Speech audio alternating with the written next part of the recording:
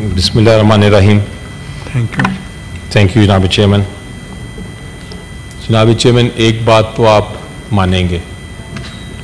और वो ये है कि आइन जो है वो कौम को इकट्ठा करता है।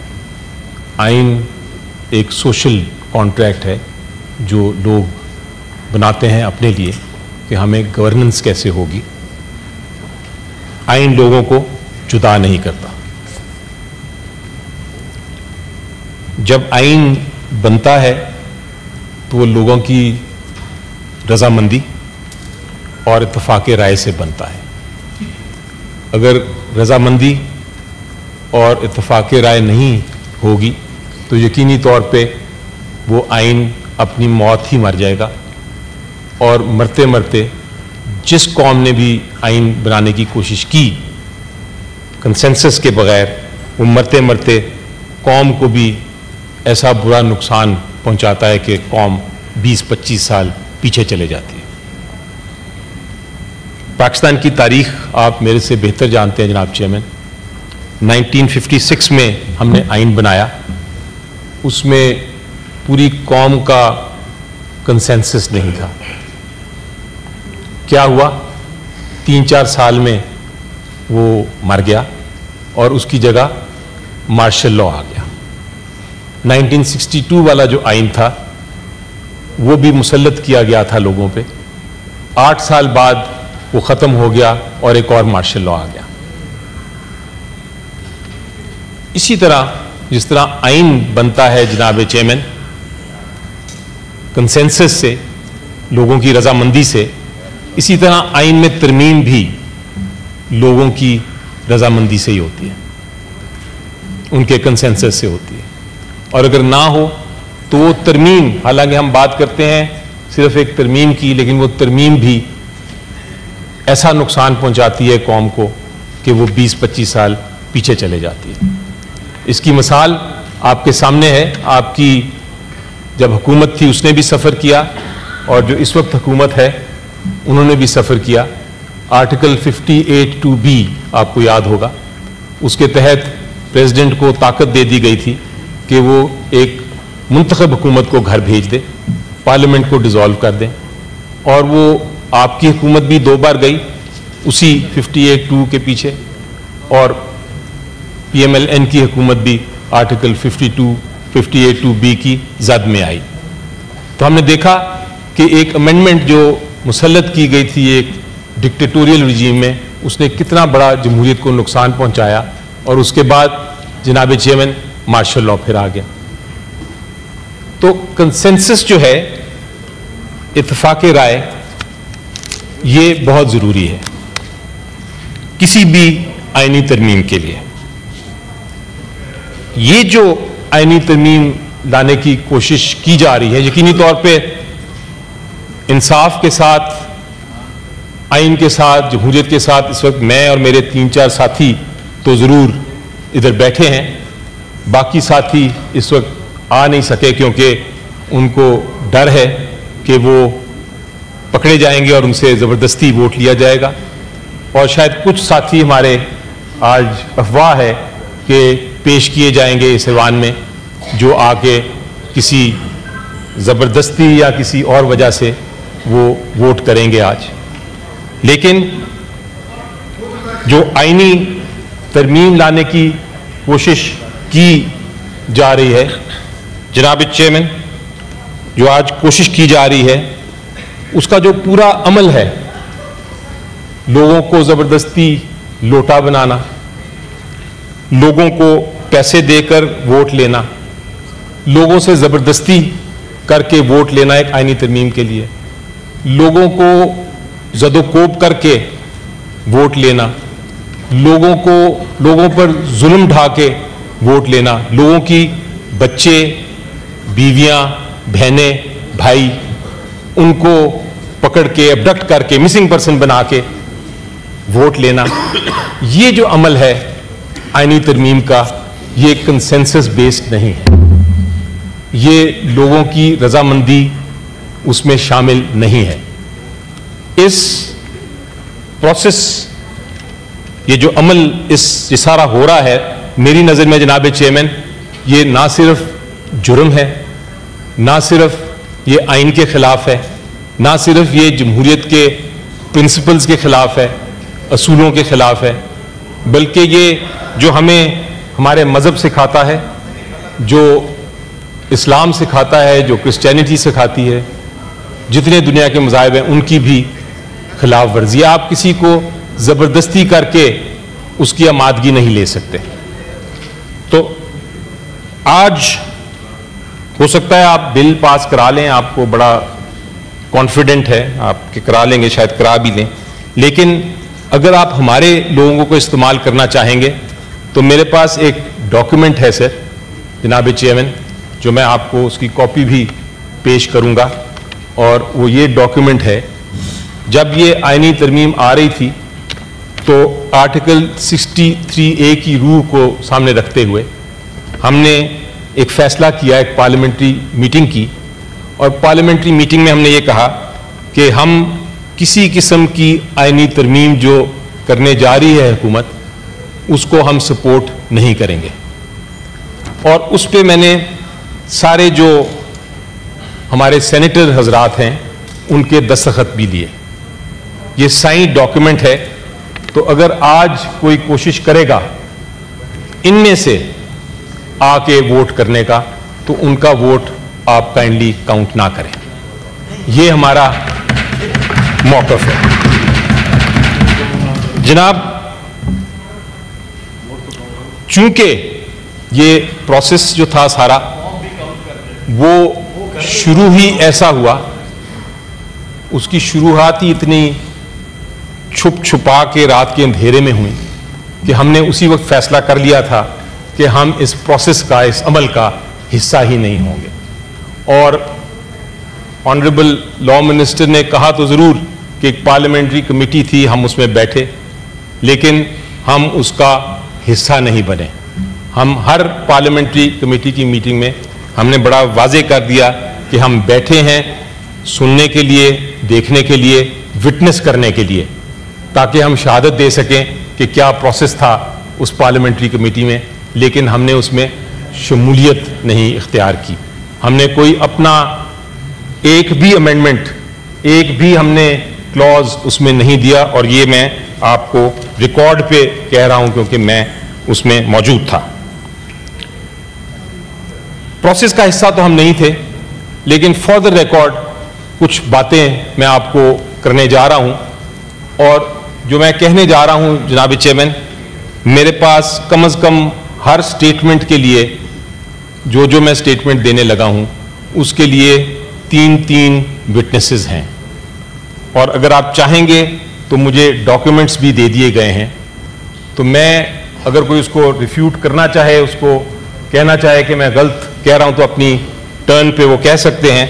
लेकिन फिर मुझे इजाज़त होगी कि मैं वो विटनेसेस भी पेश करूँ और डॉक्यूमेंट्स भी आपको पेश करूँ। जनाब फॉर द रिकॉर्ड जब ये शुरू हुआ था मामला तो एक डॉक्यूमेंट हुकूमत ने तैयार किया। हुकूमत ने तैयार किया या किसी और ने किया, वो विटनेसेस मेरे पास नहीं है, लेकिन सर्टनली हुकूमत का ही डॉक्यूमेंट था। उस डॉक्यूमेंट में 80 से ज़्यादा तरामीम थी। और उसका एम क्या था? उसका मकसद क्या था? उसका सबसे पहले मकसद तो बहुत ख़तरनाक था। बहुत ही ख़तरनाक, जनाब चेयरमैन और वो ये था कि जो हम सब के बुनियादी हकूक हैं, हमारा right to life freedom of expression freedom of movement even due process fair trial ये सारे जो बुनियादी हकूक हैं वो साइड पे किए जा सकते हैं किसी भी बहाने से। और अगर वो हमें किसी को उठा के अरेस्ट कर लिया जाए और वो बहाना बना दिया जाए जो उस शिक में था, शिक का रेफरेंस भी दे देता हूँ आर्टिकल आठ में जो तरमीम की जा रही थी। उस बहाने से अगर किसी को उठा भी लिया जाए तो ये भी था कि आप किसी अदालत के पास भी नहीं जा सकते। सो ये एक उसकी शिक थी। बड़ी गंभीर किस्म की, जिसको मौलाना फजल रहमान साहब ने यह भी कहा, देखते साथ ही कि एक काला नाग है। इसी तरह आर्टिकल 199 जो हम सबको पता है, कि आर्टिकल 199 क्या है? आर्टिकल 199 ये है कि अगर हमारे कोई भी हुकूमत या कोई भी ऑफिशियल कोई कानून की खिलाफ वर्जी करता है तो हम अदालत जा सकते हैं, हाई कोर्ट में जाके रिलीफ ले सकते हैं, अपनी इस्तदा पेश कर सकते हैं और हम जो रिक्वेस्ट करें वो मिल सकती है। वो भी, जो पावर थी हाई कोर्ट की, वो भी ख़त्म की जा रही थी कई मामलों में। इसी तरह एक आईनी अदालत बनाई जा रही थी। और उस आईनी अदालत में क्या था?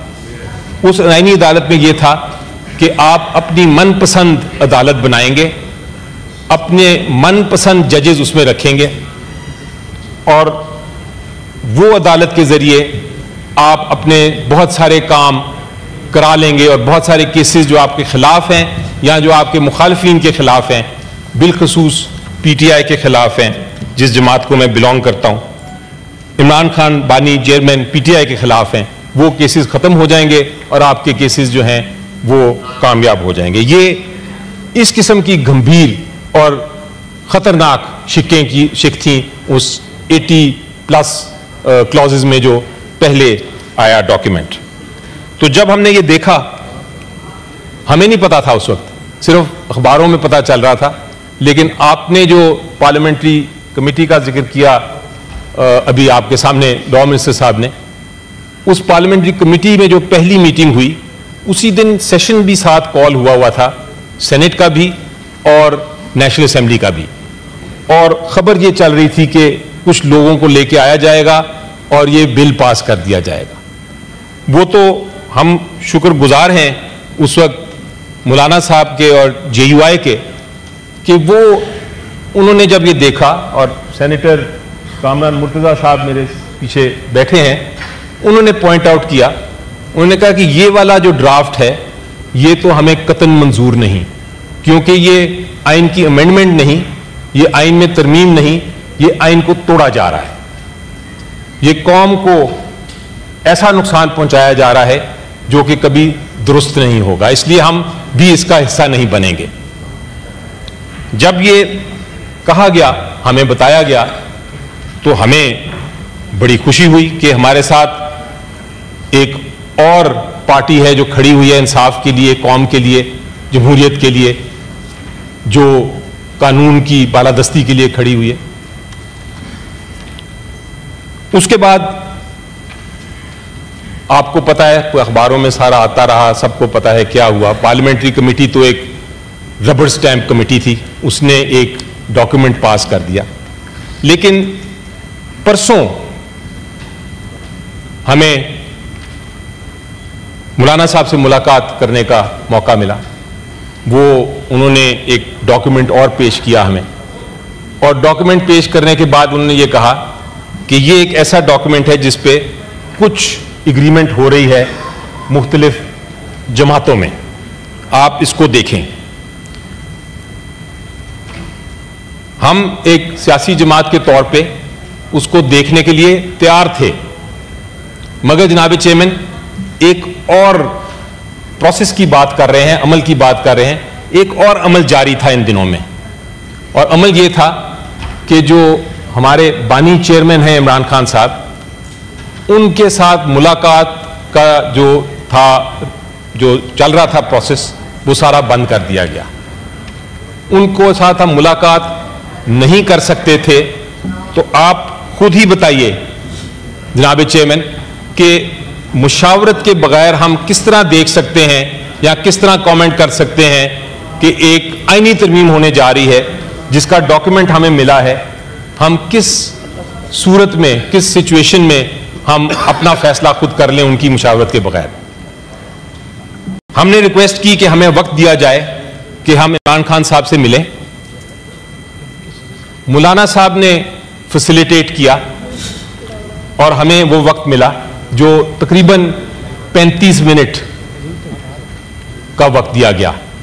उस 35 मिनट में हमें सबसे पहले तो ये पता चला कि 15 दिन से इमरान खान साहब को किसी से मिलने की इजाज़त नहीं थी। उनको एक 10 बाय 12 फुट के कमरे में बंद करके ना उनके पास टेलीविज़न थी, ना उनके पास न्यूज़पेपर था, ना कोई अखबार थी, ना किसी से कांटेक्ट था।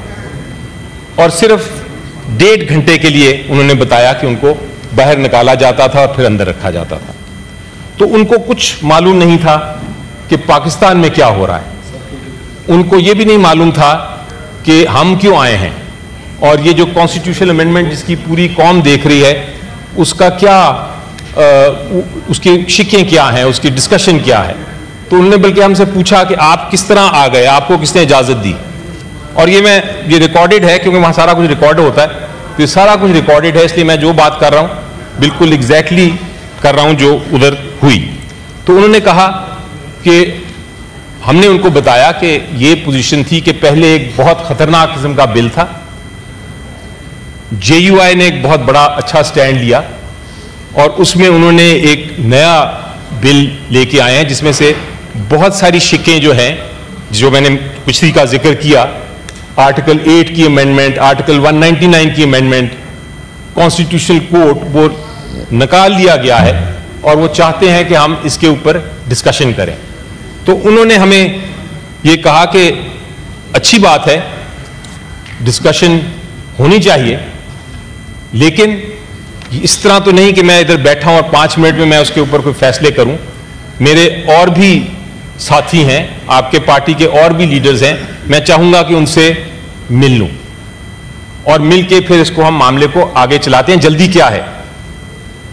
25 की तारीख का हमने ज़िक्र किया कि शायद 25 तारीख बहुत अहम है। हुकूमत के लिए बार बार बात करते हैं 25 25 25 25 तो उन्होंने पूछा 25 क्या है? 25 आपको भी पता है, हमको भी पता है कि 25 को जो एग्जिस्टिंग चीफ जस्टिस साहब हैं, वो रिटायर कर रहे हैं। तो ये सारा कुछ जो हो रहा है, वो 25 से पहले है। उसकी मैं वजह भी बताऊँगा कि क्या है आगे चल के। लेकिन 25 इंपॉर्टेंट है। तो उन्होंने कहा कि मैंने किसी प्रेशर में नहीं आना, मुझे चाहिए मुशावरत। हमने जब आके वापस पूछा कि हमें मुशावरत का मजीद वक्त दीजिए दीजिए तो वहाँ से कोई इतला नहीं आई। तो दूसरी वजह जो हम इस प्रोसेस का हिस्सा नहीं बन सके, ना बन सकते हैं, ना बनना चाहेंगे, वो ये है कि हमें अपने बानी चेयरमैन से मुशावरत का भी मौका नहीं मिला। इसलिए ये दो वजूहत तो मैंने आपको बयान कर दी। अब तीसरी पोजीशन आती है जो एक्चुअली ये डॉक्यूमेंट आया है सामने। इसमें कोई शक नहीं है। मैं कह तो नहीं सकता बड़े वसूख से, लेकिन मुझे लगता यही है जो मैंने डिस्कशंस की अपने कुछ साथियों से, कि ये जो डॉक्यूमेंट आया है जिस जो जो सर नाब चेयरमैन आइनी तरमीम है। ये कोई आम डॉक्यूमेंट नहीं है। ये एक कॉन्स्टिट्यूशनल अमेंडमेंट है। A constitution that is for the people it is by the people लेकिन मुझे लगा कि इस वन में बहुत सारे लोग हैं जिन्होंने इसको पढ़ा भी नहीं। और अगर आप मैं चाहते हैं तो मैं कुछ लोगों का इम्तिहान ले सकता हूँ इधर। मैं बात कर सकता हूँ कि आर्टिकल 175 ए की शिक नंबर सात में क्या है? और आर्टिकल 188 में क्या है? तो 99 परसेंट हो सकता है लोग मुझे जवाब ना दे सके और इस इम्तिहान में फेल हो जाए। हम इस तरह अमेंडमेंट पास करेंगे तो ये जमहूरियत पे एक तरह से बहुत बड़ा धब्बा होगा, सर। अब सर तीसरी वजह जो हम, मैं कोई ऑफ़ द मैं बिल्कुल बात कर रहा हूँ जनाब ऑन द रिकॉर्ड अब सर आप ये देखिए जनाब चेयरमैन टाइम को देखते हुए, ये आईनी तरमीम में मुझे समझ आ गई कि वो पास तो हो जाना है, लेकिन लेकिन फॉर द रिकॉर्ड मैं ये भी कहना चाहूँगा कि इसके, इस डॉक्यूमेंट जो मैंने सरसरी तौर पे जो पढ़ा है अभी, इसमें भी बहुत सीरियस एरर्स हैं।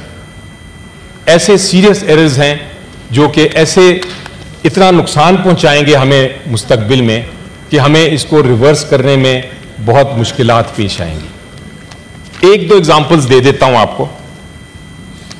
मसलन, ठीक है, इसमें आपने जो आईनी अदालत बनानी थी वो नहीं बनाई, लेकिन उसी को एक नया नाम दे दिया, आईनी बेंच। और उस आईनी बेंच में भी लॉ मिनिस्टर साहब ने तो कहा है कि उसमें उन्होंने अपॉइंटमेंट का तरीका बताया है, बिल्कुल बताया है, लेकिन वो सारा टिल्टेड है। वो सारा टिल्टेड है हुकूमत के फेवर में। यानी कि इस प्रोसेस के ज़रिए हुकूमत अपने जज उस बेंच में बिठा सकती है।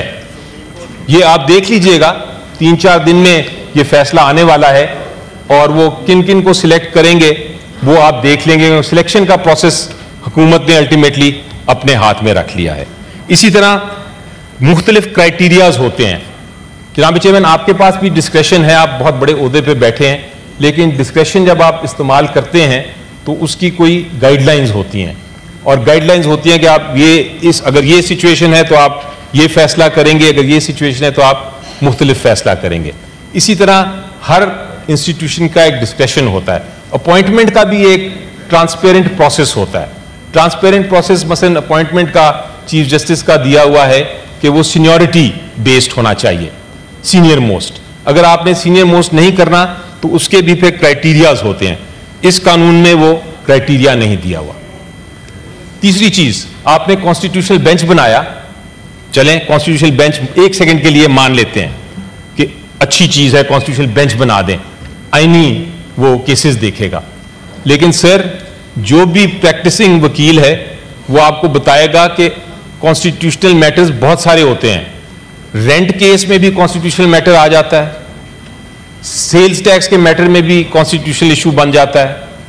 आम केस किसी का हो, वो भी कॉन्स्टिट्यूशनल उसमें लीगल पॉइंट आ जाता है।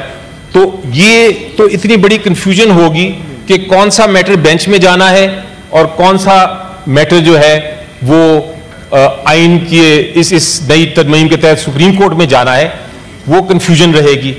फिर प्रिजाइडिंग जज क्या है, उसके क्या अख्तियार हैं चीफ जस्टिस के बराबर है, उससे कम है। ये सारे सवालात हैं। हो सकता है मैं गलत सवाल रेज कर रहा हूँ, लेकिन जब डिबेट होती है, जब उस पर बहस होती है तो फिर उनके सवालात के जवाब आते हैं, और फिर ड्राफ्टिंग में वो जो प्रॉब्लम्स हैं, वो आप सॉल्व कर सकते हैं। लेकिन जब आप एक ऐवान में आए हैं, सेनेट जैसे ऐवान में, जहाँ लोगों ने पढ़ा ही नहीं है और वो सिर्फ़ रिलाय कर रहे हैं, हो सकता है अटर्नी जनरल साहब बैठे हैं, हो सकता है उन्होंने ड्राफ्ट किया, हो सकता है लॉ मिनिस्टर साहब ने किया हो, उनकी ड्राफ्टिंग पे रिलाय कर रहे हैं, या कुछ कमेटी मेंबर्स ने बैठ के फैसला किया हो, उनके ऊपर रिलाय कर रहे हैं तो ये बात दुरुस्त नहीं है। लेकिन बहरहाल अल्टीमेटली हम लोग इसमें हिस्सा जिस तरह आपको मैं फाइनली अनाउंस करना चाहता हूँ कि हम इसमें वोटिंग नहीं कर सकते।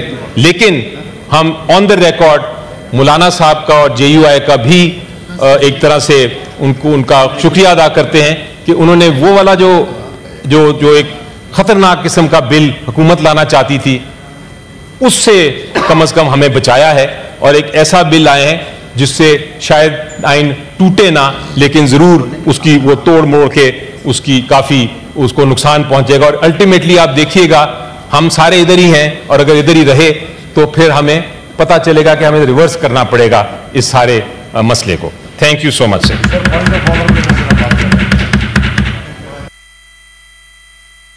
रखें मैं पार्लियामेंट्री